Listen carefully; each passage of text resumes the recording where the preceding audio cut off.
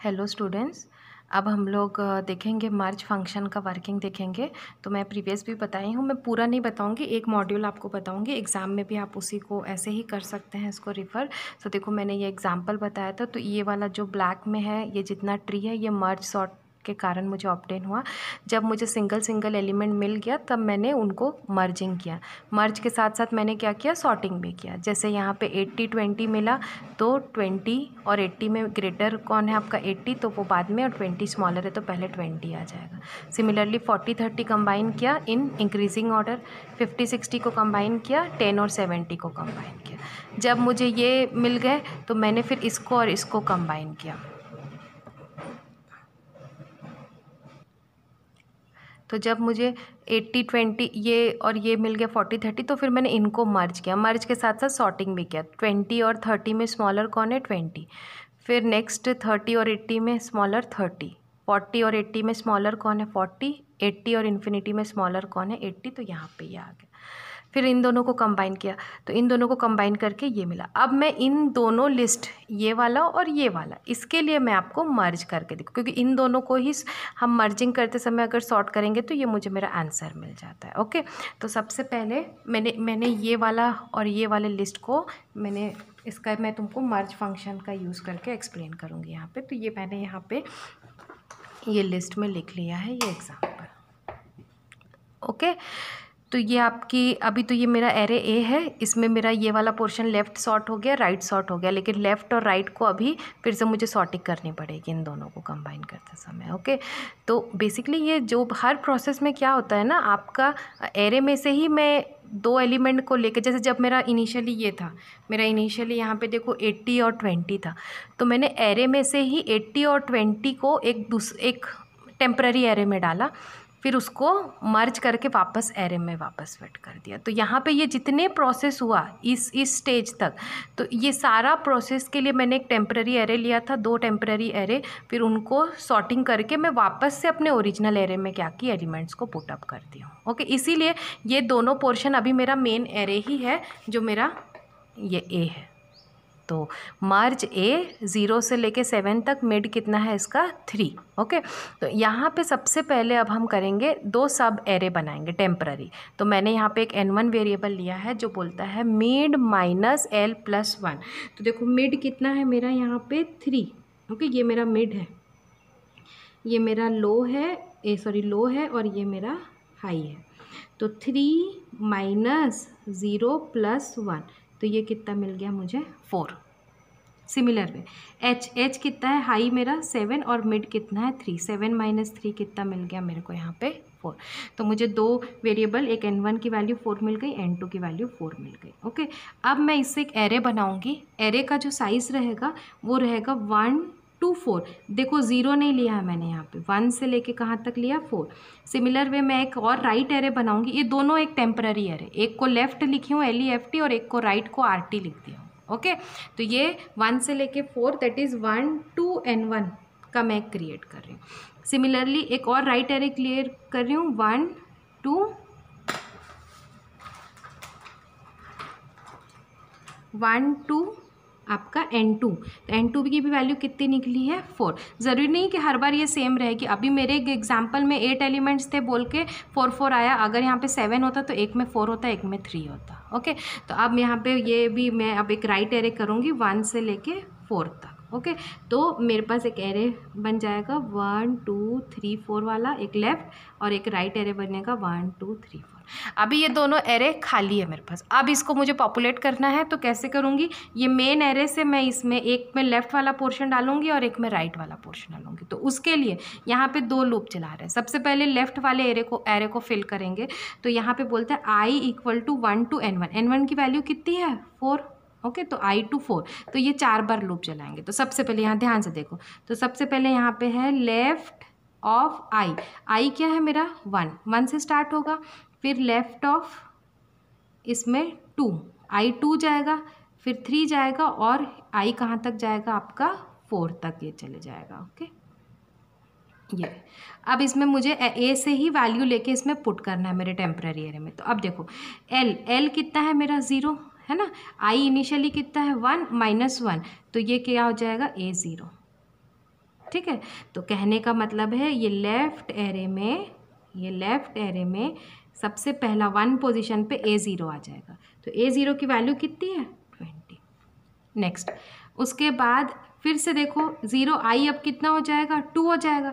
तो zero plus two minus one कितना हो जाएगा? ए वन तो अब इसमें कौन सी वैल्यू चली जाएगी? ए वन सिमिलरली इसमें क्या जाएगा? ए टू और इसमें क्या जाएगा आपका? ए थ्री तो ज़ीरो वन टू थ्री तो थर्टी फोर्टी एट्टी तो यहाँ पे थर्टी फोर्टी और एट्टी वन टू थ्री और फोर में आ गया आपका। यहाँ पे थर्टी फोर्टी और एट्टी ठीक है? तो अब लेफ़्ट एरे को पॉपुलेट कर दी हूँ टेम्प्रेरी एरे अब मैं राइट वाले को पॉपुलेट करूँगी, ठीक है? तो राइट वाले के लिए बोलता है right J A M plus J तो मिड कितना है? ये देखो मिड कितना है यहाँ पे? थ्री थ्री तो जे भी कहाँ से जा रहा है? वन से लेके एन टू दैट इज़ कहाँ तक चलेगा आपका ये? फोर तक चलेगा।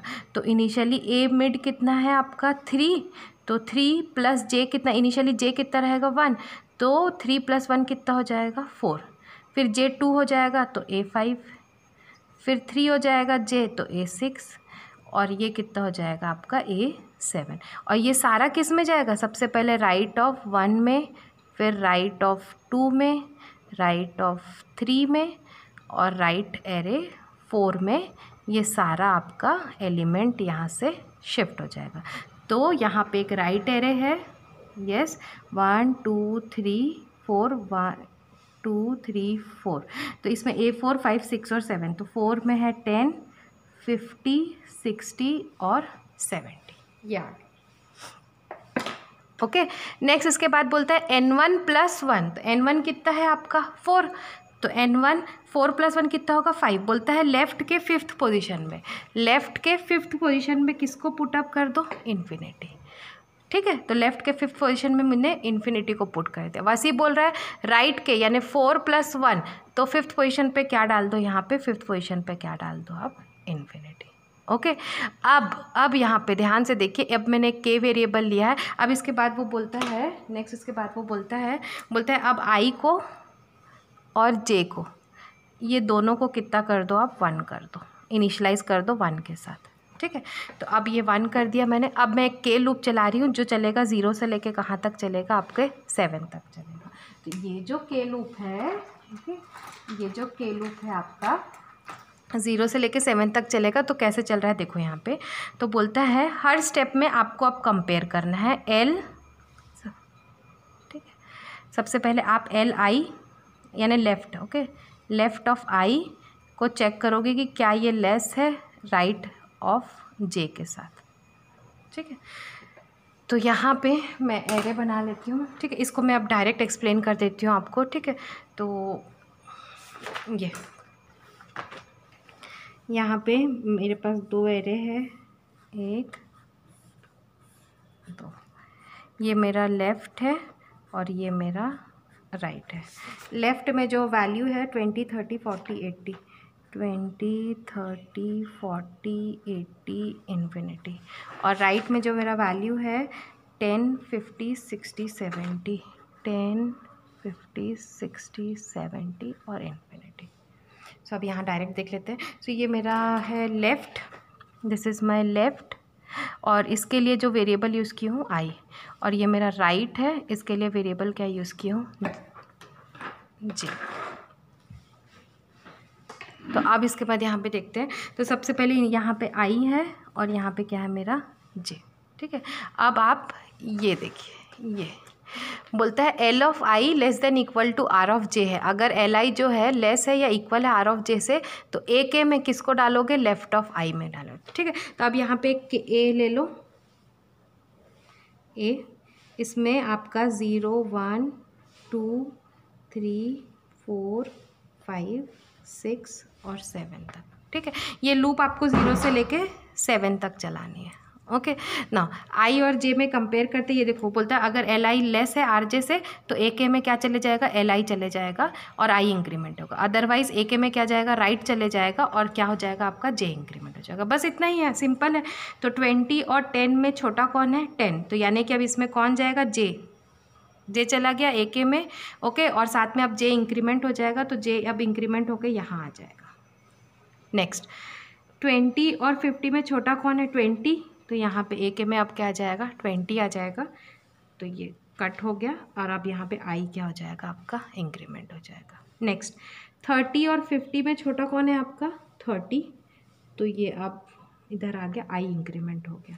फोर्टी और फिफ्टी में फोर्टी आई इंक्रीमेंट हुआ, यहाँ पे फोर्टी आ गया। अब फिफ्टी और एट्टी में तो फिफ्टी आएगा यहाँ पे ओके और अब जे इंक्रीमेंट हो गया। सिक्सटी और एट्टी में सिक्सटी और जे अब इंक्रीमेंट हो गया। सेवेंटी और एट्टी में सेवेंटी तो जे इंक्रीमेंट हो गया। और इन्फिनिटी और एट्टी में कौन आएगा? एट्टी हो गया?